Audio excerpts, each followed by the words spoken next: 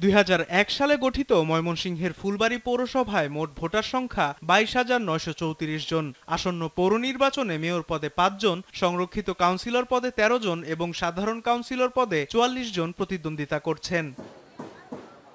এলাকাবাসী বলছেন বিগত সময়ে এই পৌরসভার উন্নয়ন হয়েছে চোখে পড়ার মতো। অধিকাংশ রাস্তাঘাটই পাকা তবে রয়েছে বিদ্যুৎ ও পয় নিষ্কাশন সমস্যা। এসব সমস্যা দূর করার নিশ্চয়তার দাবি তাদের। যদি যারা নির্বাচিত হইব যদি দিনের ব্যবস্থা এবং ডাস্টবিনের ব্যবস্থা শতভাগ করে কথা দিতেছে যদি করে তাহলে মোটামুটি নাগরিক সুবিধা এই পৌরসভায় কমপ্লিট হইব রাস্তা। রাস্তাঘাট ব্রিজ কালভার্ট এগুলা যেসব রাস্তাগুলো আমাদের মানে পরিত্যক্ত অবস্থায় রয়ে গেছে। এইগুলা আসলে উন্নয়নের দরকার। ট্রেন কালভার্ট এইসব দরকার। বর্ষাকালে পানি জমে পানি পানি জমে থাকে পানি জমে থাকার কারণে অনেক অসুবিধা সংকটে পড়তে হয়।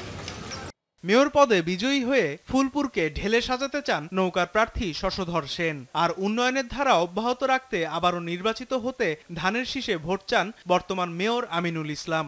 মাননীয় প্রধানমন্ত্রী বার্তা দিয়েছেন ফুলপুরটাকে ফুলের মতন সাজিয়ে দাও। যা যা লাগে যা করণীয় আমি দেখব তুমি নৌকাটা আমাকে উপহার দাও। আমি কোনো রাস্তাঘাট সকল কিছু উন্নয়ন করেছি।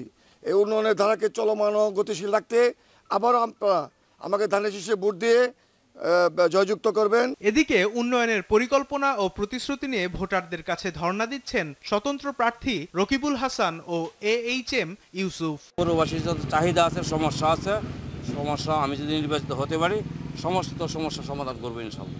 অবাধ নিরপেক্ষ ও সুষ্ঠু ভোটগ্রহণ নিশ্চিতের আশাবাদ নির্বাচন কর্মকর্তাদের। আমরা দেখছি যে সবাই যার যার মতো নির্বাচনী প্রচারণা সুন্দরভাবে চালাচ্ছে কোনো প্রবলেম নাই।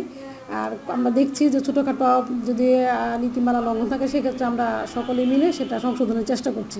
আগামী চোদ্দ ফেব্রুয়ারি শতভাগ ইলেকট্রনিক ভোটিং মেশিন ইভিএম এ ভোট দিয়ে পছন্দের মেয়র ও কাউন্সিলর নির্বাচিত করবেন ফুলপুর পৌরবাসী।